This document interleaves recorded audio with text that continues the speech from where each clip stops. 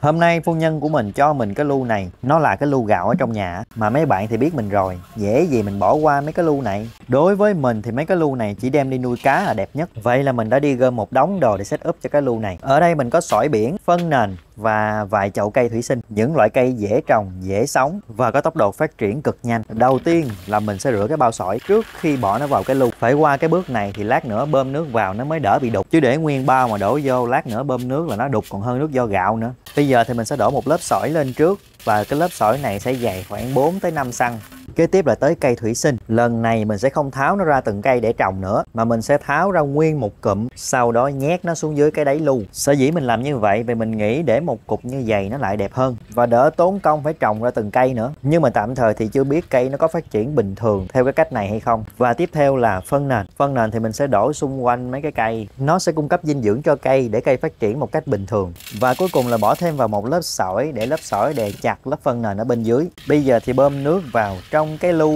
cái phần nước đục đen đen nâu nâu này là do cái lớp phân nền. Để giải quyết cái vấn đề này thì để qua 1 tới 2 ngày và sử dụng kèm thêm vi sinh extra bio hỗ trợ làm trong nước. Thì cái chuyện nước đục nó không còn là vấn đề khó giải quyết nữa. Bây giờ để nó ở đây, hai ngày nữa mình sẽ quay lại kiểm tra nha. Nếu mà nước trong thì mình sẽ bắt đầu thả cá luôn. Và cái hồ này mình còn chưa độ cho nó một cái đèn nữa mà. Mình mượn đỡ cái đèn ở bên cái hồ mini kia qua cái đèn này không phù hợp để nhìn nó vướng víu lắm.